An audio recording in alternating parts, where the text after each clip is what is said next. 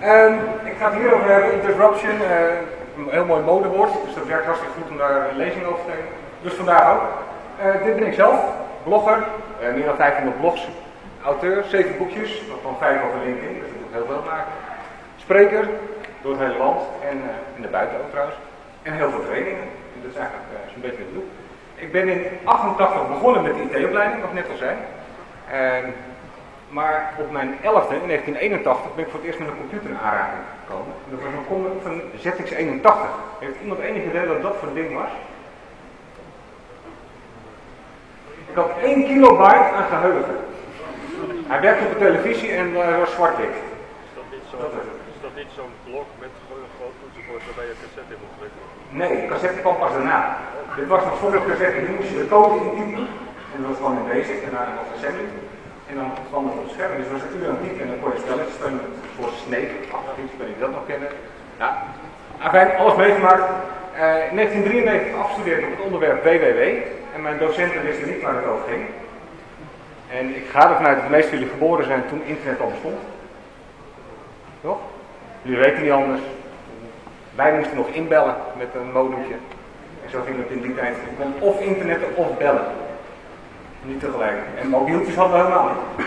Maar ik ben gefascineerd geraakt door de snelheid waarmee dingen gaan. En daarom vind ik nog steeds gaaf wat gebeurt. Als je kijkt, uh, radio. Nou, misschien kennen jullie dat nog, radio. Dat had 38 jaar nodig om 50 miljoen luisteraars, gebruikers te krijgen. Dat is een hele lange periode. Televisie was het in 13 jaar, dus dat ging een stukje sneller. Toen kwam het internet, in 4 jaar tijd 50 miljoen gebruikers, wereldwijd. Facebook 3,5 jaar. En toen kwam een heel school spelletje genaamd Angry Birds. En dat brak alle records in 35 dagen. Maar wat is er afgelopen juni gelanceerd? Ja, what the fuck? Wat is hier gebeurd? Wie speelt dit? Heeft Niet meer, heeft het spel gespeeld? Ja, dat geeft ook aan hoe snel de tijd gaan. Maar zo het Als jij wil voorspellen wat volgend jaar groot is, ja, dat kan niet. Dat kun je niet voorspellen, want het is er gewoon niet. En misschien dat jullie dat wel denkt, dat ineens volgende week de hele wereld wil doen. En dat is gaaf. Dat vind ik fascinerend. Wat ik ook fascinerend vind, is de serie Star Trek. En ik ga ervan uit dat, gezien de opleiding die jullie gaan doen, dat hier best wat meer Star Trek fans zitten. Wie heeft er nog nooit gehoord van Star Trek? Eindelijk mijn publiek. Uh, wie is ook fan van Star Trek? Mag, niemand het zeggen? Voor de mensen die geen fan zijn, jullie kennen het wel. In 1971 staat deze meneer, Captain Kirk, dat is de, van de eerste series van Star Trek, zit daar met een apparaat te werken. Wat is dat voor ding? Ja, dat is inderdaad een tablet, dat is een iPad. 1971. Deze meneer, heer Schot, die je ongetwijfeld, die rare oortjes, die moet je ooit gezien hebben, van cultfiguur. Die is met een apparaatje bezig om data van de ene computer te copiëren en mee te nemen naar de andere computer. Dit is deze. Er zijn nog geen cloudcomputing dat deze zijn nog niet aan. Dit apparaat. Kijk, nou, ik zocht een echt nerd gevonden. Een tricode. En wat kun je daarmee doen? Uh, levenstekens scannen. Levenstekens scannen, omgevingsfactoren scannen. Eigenlijk kun je En dat is een heel gaaf apparaatje. En eigenlijk zit dat al aangekomen. We hebben de Xanadu, die ken je dan ook. Xanadu? Ken je ook? Die bestaat al. Die Kickstarter is een ding gelanceerd. Die meet 19 vitale levenstekens. Om tegen je voorhoofd aan te houden. Die is er al. En er komt steeds meer. Sterker nog, je kan alles koppelen aan je telefoon natuurlijk. Daar weet je alles van. Als er maar op zit. En je kunt dingen gaan meten. Dus die science fiction van toen, dat wordt allemaal realiteit. En dat wordt alleen maar mooi nog. Dit dingetje, kun je ook, van plat scherm. Deze daarmee. Skype, ja. Bijvoorbeeld, ja. We hebben zo'n ding al thuis. En op ons bureau staan. We kunnen zien op een rover, op de Mars. Als die robot die een beetje rondrijdt. Weet. We kunnen Skype inderdaad, heel goed. En André Kuipers, in Nederland zelf, twee jaar geleden. Toen hij in de International Space Station om de aarde heen vloog, stuurde die foto's via Twitter. En via Google Hangouts met hem chatten. Hoe gaat dat? Terwijl we in de ruimte zitten. Jullie vinden dat dus de normaalste zaak van de wereld. En dan kijk ik hier naar de wat oudere jullie zeggen, Zil vijf jaar geleden had je gezegd dat je zegt, wat fuck, echt niet. Ja, je behoort het toe. Oh, dat is wel heel sorry. Eh, deze meneer, Felix Baumgartner, die dondert met een ongenadige snelheid van 30 km per uur vanuit de ruimte, nee, van 30 km hoog naar beneden. En dan kunnen we ook via live zes camera's op YouTube volgen. Hoe gaat het dat? Vlucht hij nou? Omdat ik hem net... Oh. En denk je, vlucht al, ja. Dit zijn dingetjes, die had je tien jaar geleden, had je wel kunnen vertellen, maar hooguit werd je opgesloten. Dit geloven is. En dit is nu realiteit. Dat vind ik gaaf. Dat fascineert mij. En daar ben ik heel benieuwd wat er volgend jaar gaat gebeuren. Niemand die zegt. Criminaliteit. Ja, ja, ja. Tele teleporteren. Dus je hebt iets, je dematerialiseert dat, je stuurt het en je materialiseert dat.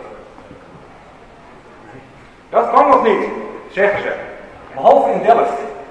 In Delft is het gelukt om data, gegevens, weg te halen, niet via lijntje, via wifi of wat voor ding, en ergens anders weer terug laten komen. Het is gelukt, het is wereldnieuws geweest. De professoren hebben nog geïnterviewd van, wat gaaf is jullie gelukt, hoe werkt dat? Ja, dat weten we nog niet. We weten alleen dat het werkt. En dit is waar het naartoe gaat. Er gaan dingen ontdekt worden waar iedereen zegt, wauw, wat gaaf. En nu kijk ik hoe het werkt en wat we mee kunnen doen. En dat is inderdaad met lichtsnelheid kunnen, kunnen reizen naar een andere planeet, 4 jaar op, waar mensen het leven mogelijk is. Gaat gewoon gebeuren. Sneller dan wij denken. Dit dingetje. Een food generator. Ja, ja, het heet een replicator, heet het eigenlijk. Dan kun je zeggen, nou, ik wil een kopje thee, poef, kopje thee. Ik wil Chinese maatsoep, wat dan ook, iets van een andere planeet. En we hebben natuurlijk zo'n 3D-printer. En jullie kennen die dingen. En je kan alles Lego op een printer maken, dat is fantastisch. Je kunt alles printen eigenlijk. En in Eindhoven, daar zit ik dan, hè, dan de Dutch Design Week en de Dutch Technology Week. En dat kwam twee jaar geleden een geprinte pizza proeven. Hartstikke goor, maar dat is een kwestie van tijd. Daar twijfel ik. We gaan straks voedsel printen op basis van grondstoffen die we over hebben, van restjes die we nog hebben. Het hele voedselprobleem dat gaan we oplossen doordat we eten gaan printen. Afgestemd op jouw smaak, jouw lichaam, wat jij nodig hebt. En dit is een plaatje uit de toekomst. En wie heeft er thuis een konijn? Ja.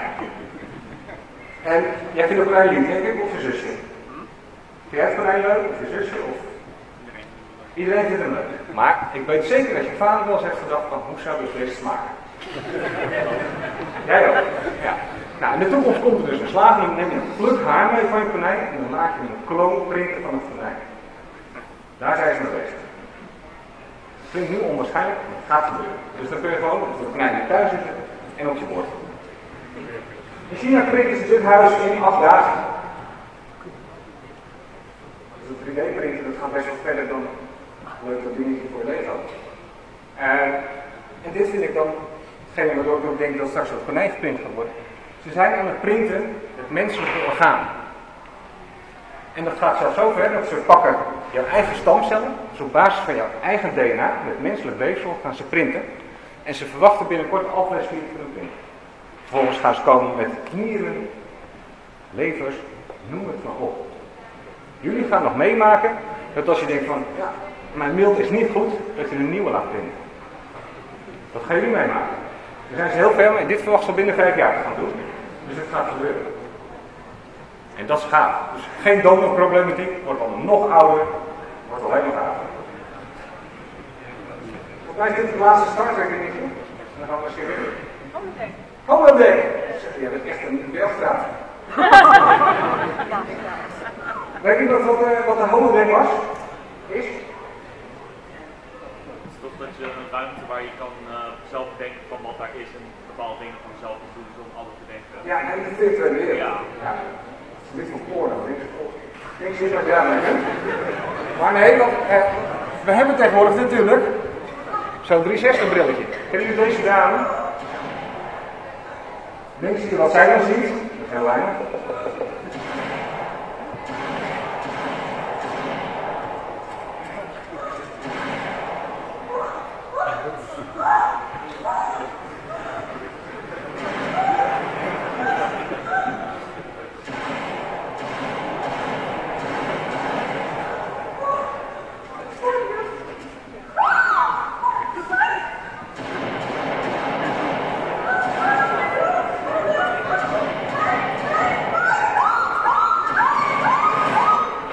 Gaat nog even door. Aan het einde staat ze helemaal te trillen als dat ding afzet en dat kind is van helemaal in de virtual reality wordt natuurlijk steeds gaver. Ik neem deze lezing ook op. Ik niet je dat dingetje kent. 160 graden webcamera. Het houdt in dat ik dan morgen gewoon op de bank met zo'n bril op precies kan kijken hoe ik het zelf heb gedaan. En denk van, waarom sta je zo, waarom doe je dat zo? Die dingen zijn allemaal voorhanden, het kost allemaal niks meer en iedereen kan het tegenwoordig hebben. Zo'n kamertje, 360 euro. 1 euro per graad. Van het. Uh, waarom Star Trek? Als je wil weten waar naartoe gaat in de toekomst, ga Star Trek kijken. En dat is niet omdat uh, die bedenkers van Star Trek zo ver vooruit waren, maar omdat alle nerds van voorheen, de, de Steve Jobs, uh, de echte uitvinders is van allerlei dingen, Elon Musk, allemaal mensen waren fan van Star Trek. Dus zij hebben zich laten inspireren voor wat daar, wat daar gebeurt. Dus laat dit een inspiratiebron zijn en zorg dat je daarmee. Dat was Studio Star Trek.